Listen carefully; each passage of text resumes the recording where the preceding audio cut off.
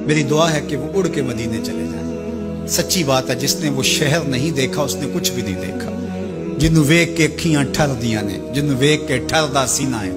ربا، تیری ساری خدائی بچوں بس اکو شہر مدینہ۔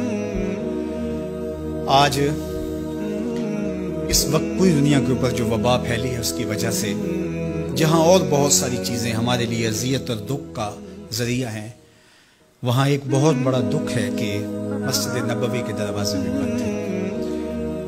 تو یہ دن تھے کہ حرم کی رونقیں دیکھنے والی ہوتی۔ مواج انور کے سامنے درودوں کی بہار ہوتی۔ مدینے میں بیٹھ کے، حضور کے روزے کے سامنے، حضور علیہ السلاۃ والسلام کے شہر کی پکی ہوئی کھجوروں سے افطاری کرنے کا اپنا ہی لطف ہوتا۔ آج مدینے کے لوگ بھی ترس رہے۔ بچپن سے لڑکپن تک اور لڑکپن سے جوانی تک اور جوانی سے بڑھاپے تک۔